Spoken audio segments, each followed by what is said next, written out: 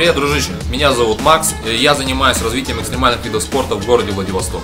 Сегодня я хочу тебе рассказать о нашей новой идее, это воссоздание парка Зона X э, на территории острова Русский. Этот парк существовал с 2012 по 2014 год в городе Владивосток, но, к сожалению, был закрыт.